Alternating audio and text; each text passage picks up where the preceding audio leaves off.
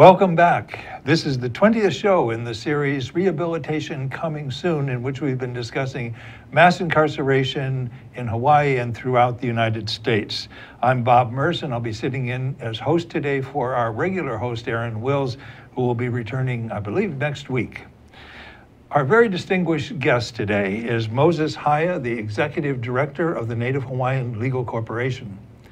Moses was a staff attorney at the Native Hawaiian Legal Corporation before he became executive director.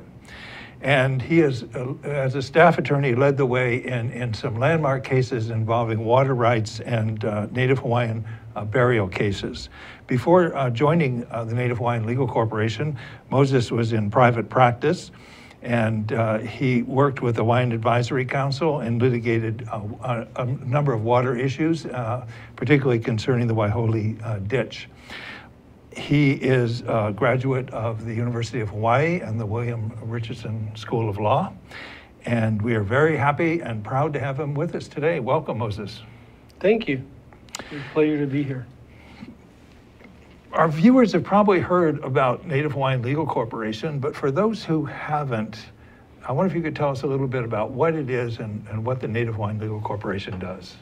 Okay, well, you know, just to give a little bit of a background on it, there is a bit of a cultural renaissance that began in the early 70s, uh, and it was centered around land um, and, and Hawaiians way of seeing land as family and wanting to ensure that um, whatever could be done to protect that land was, uh, was done. And so um, the Native Hawaiian Legal Corporation actually started off as a, a referral service um, in 1974, trying to get people who needed help, for example, with quiet title actions, where uh, a lawsuit would be filed and the plaintiff would be seeking to quiet title to the entire property. In other words, to get a court decision saying that title to this property is clear and in your name, plaintiff.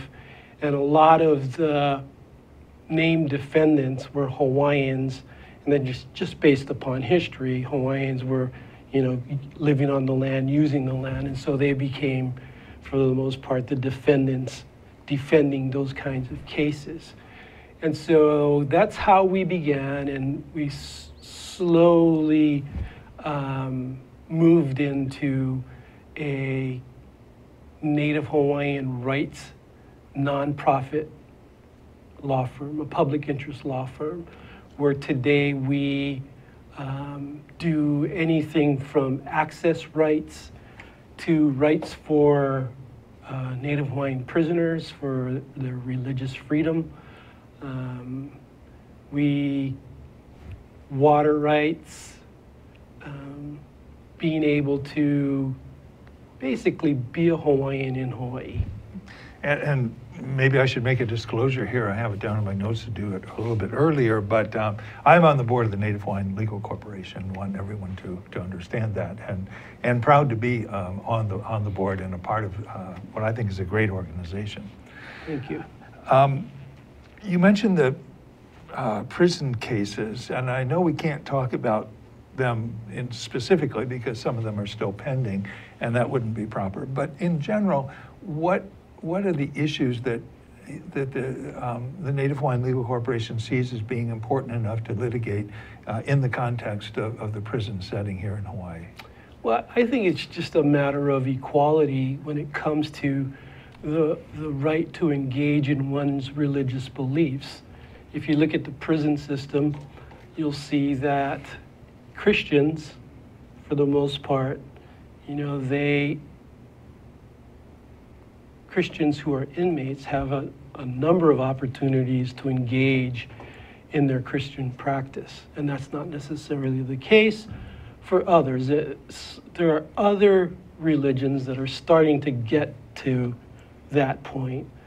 But when we started um, looking into the issues, we saw that Native Hawaiians were probably the least likely to receive um, opportunities to engage in traditional and customary relig- re- Hawaiian religious practices. And, and wh- why is it important for Hawaiians who are incarcerated to uh, have access to uh, cultural practices and be allowed to, to, to engage in those practices? You know, the best way for me to to uh, approach that topic is to speak from my own experiences. Okay.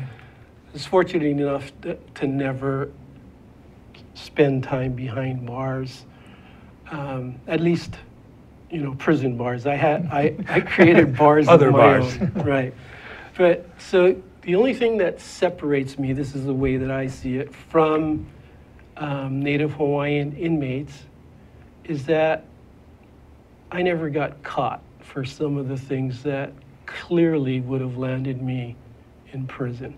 I just, I really got lucky in that way. Um, and so that didn't stop me from continuing to get into trouble. Um, and what I started to see was I was going to a school, um, Kamehameha schools, and while it wasn't necessarily the message that I was being delivered, the way that I took that message in um, turned into it's not such a good thing for me to be Hawaiian because the, the statistics prove it out. Um, I have a better chance than anyone else um, of ending up in prison, of uh, being unemployed, uh, homeless. So, all the things that people, for the most part, don't want to be number one in, I saw that as an opportunity because I was a Hawaiian. And so I had a very skewed opinion of what it was to be Hawaiian. Um, and got to the point where, like in the 70s, when that renaissance was happening and there were these activists, um, Kaho'olawe, Kalama Valley, I would look at them and I'd say, please stop it. You're embarrassing me. Um, because, you know, we need to become the best Americans we can become. And while that was a surface kind of thing for me, I feel deep down inside is today where I understand the real issue was and the the genesis of all the the trouble and heartache that I started to feel because I I couldn't buy that deep down inside despite um, the the kinds of um, you know the the numbers that were out there that showing what where Hawaiians were socioeconomically, and as a result of that, um, I fought as hard as I could, and ultimately, you know, became that statistic um, in in another way. I had problems with um, alcohol and drugs. And what happened for me, fortunately, was I was at a meeting, um, and this older Hawaiian gentleman shared and said that he was proud to be Hawaiian. And uh, that struck a chord in me because that couldn't understand that. So I went up to him and we talked for a little bit. And although he never explained what he meant by that, um, he just said, you know, hang around. And so from that point on, I started to look at what I had taken on um, and defined me as a Hawaiian. And I started to see that it wasn't truly what defined me as a Hawaiian.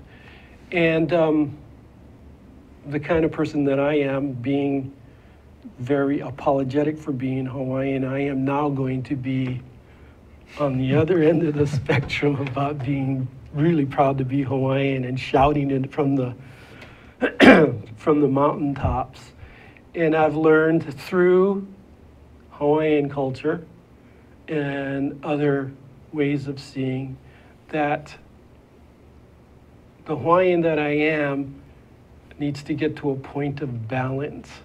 And for me, that's what will define me, how balanced I can be in the way in my views and not giving up who I am as a Hawaiian, but like the example is doing the work of, at Native Hawaiian Legal Corporation. There are a lot of people out there that look at us as anti-development, and that's clearly not the case. Okay, we can you can say we're pro a culture, but ultimately we're about balance. And when it comes to that, what we're saying is, what I see is people come here and they want to be in Hawaii because of all the special things about this place. What makes this place special? A lot of that is aloha, Hawaiian values. Uh, a lot of that gets sold, um, you know, in the tourism mm-hmm. industry.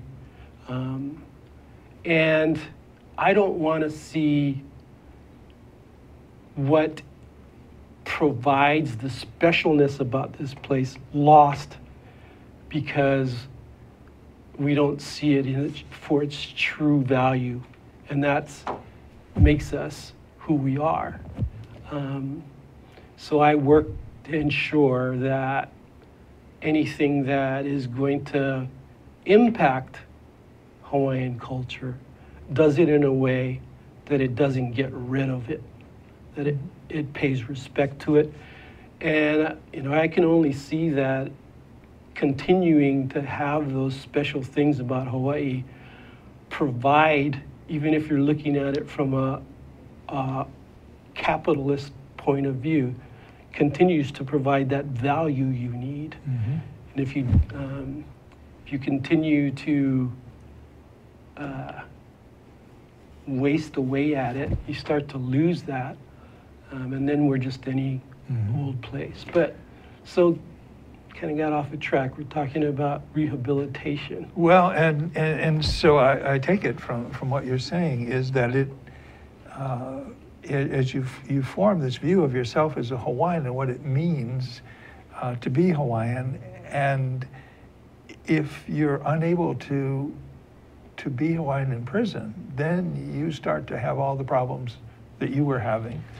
Uh, because you know because they've particularly I guess if you're in Arizona, one of the 1,400 uh, prisoners in Arizona, where you're, you're, you know you're in basically in the middle of a Native American desert, um, and uh, kind of hard to practice Hawaiian values there unless somebody is going out of their way to help you. You, you know I don't see any difference despite the, the change in location of our, you know, our mental, um, where we are mentally, about what it is for me to be a Hawaiian.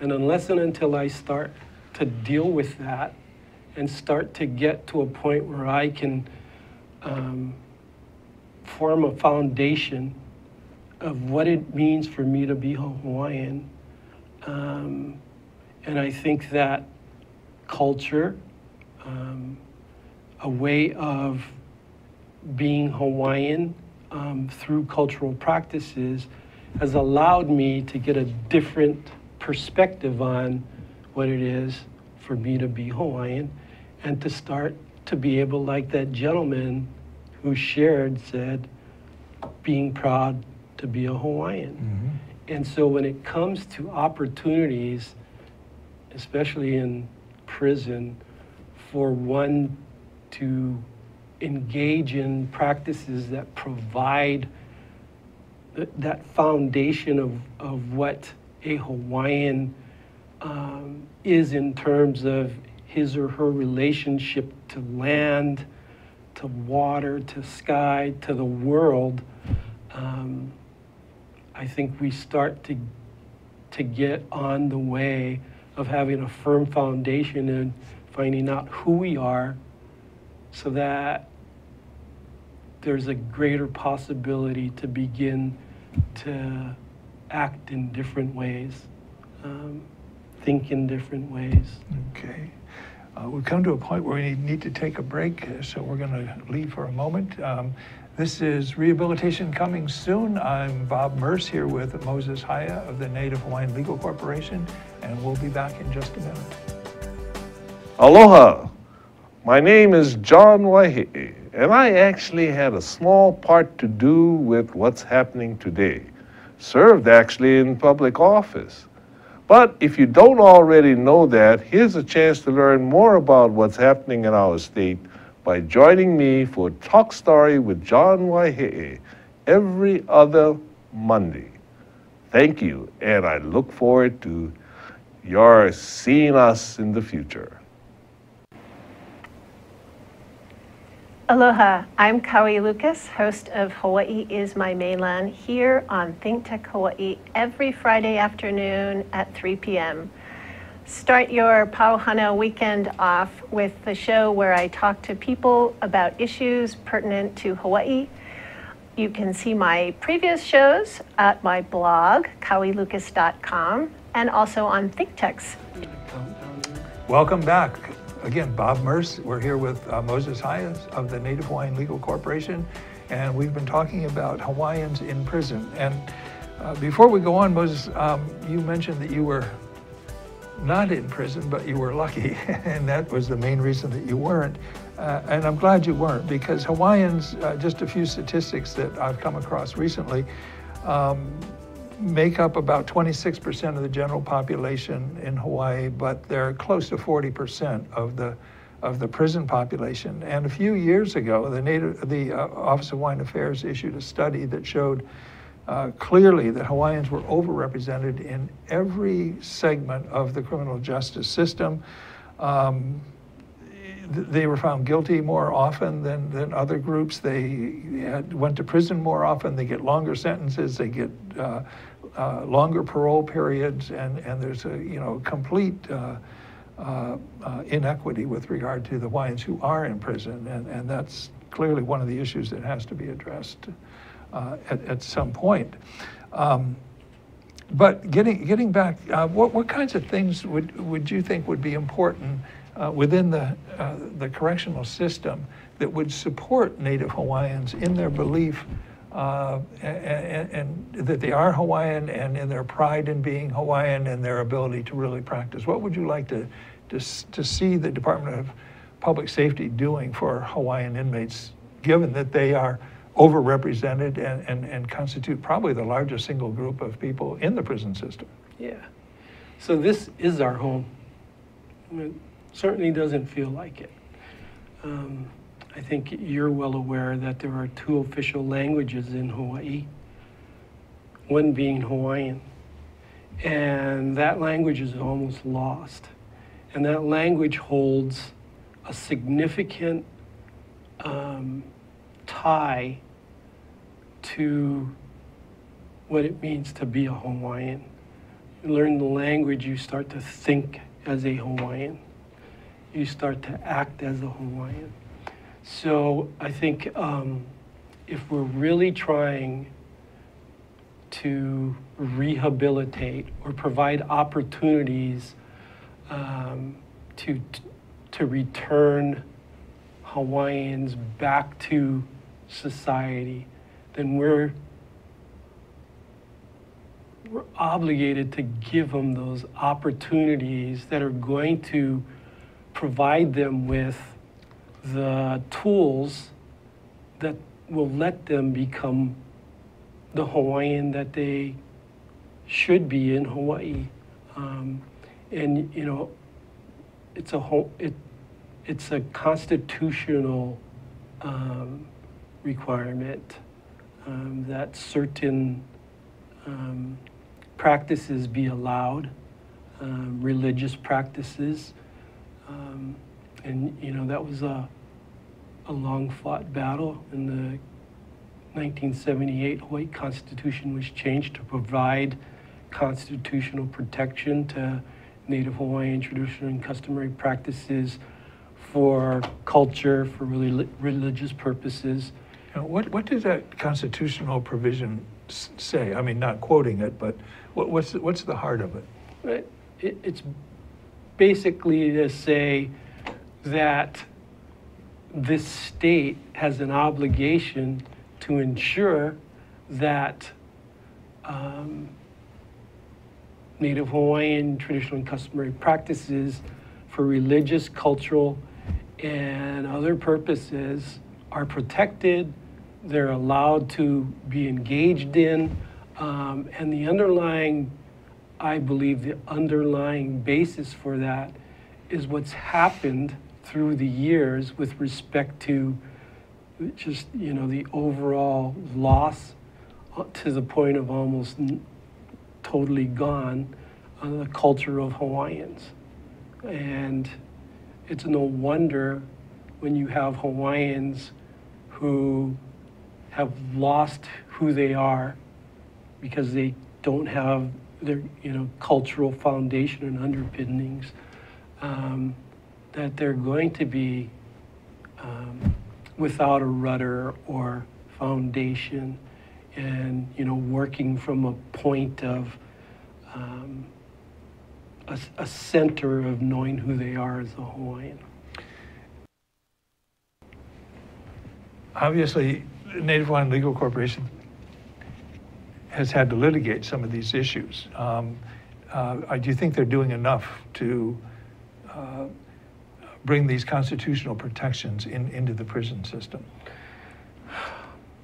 When you say they, Department of Public Safety or, or this, or the state generally? well, you know, um, I obviously am not the most objective person when it comes to that, and especially given my, you know, my personal and professional background. Um, but um, if we really want to see change or offer change for these overrepresented individuals in prison, there's no doubt in my mind that that offering these kinds of uh, programs um, and uh, the ability to engage in practices is the one most important way of getting to a point where you're allowing a Hawaiian to get past what I believe has been the stumbling block for them and why they're in the situation they find themselves in. Mm-hmm. So my answer is no. Okay. Much more needs to be done. It's, it, it's, Hawaiians, well, most of the people in prison, no, no matter who they are, end up coming out.